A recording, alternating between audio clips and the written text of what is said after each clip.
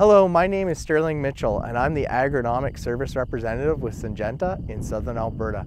I'm standing in front of a field of pod integrity canola that we're going to time for Reglone Ion application.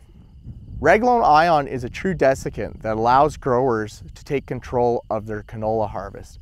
When using Reglone Ion, combine efficiency increases, which results in a better, easier harvest for the grower of straight cut canola.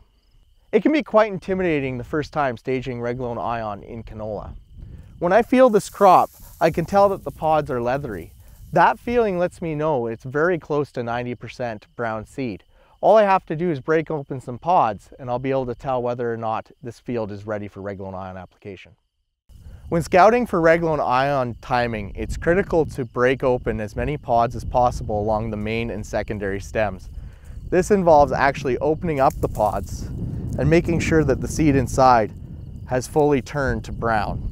You want above 90% brown seed throughout the entire plant in order to time Reglone Ion correctly. By doing that, you will result in the highest quality canola possible while retaining the highest yield. When we look across this field, you'll notice that the wet spots have also turned. I have been out in the field and have opened those pods and we do have above 90% brown seed we can use Reglone Ion in this field at any time. Quite often we see these stems being stronger than our previous generation of varieties.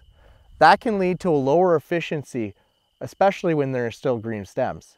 By using Reglone Ion, we can take that green color out of the stems and some of the moisture, which leads to an easier, more efficient harvest. I'm holding a canola plant right here that I've already ascertained has greater than 90% brown seed. One thing that's important to note is even though the top of the plant looks like it's fully desiccated or dried down, the stems are still green in this field. The farmer's already attempted to cut some of his headlands and drier areas of the field and has had a lot of trouble getting through them due to this green material. By using Reglone Ion, he'll be able to get through this much faster than he would be by waiting for natural dry down.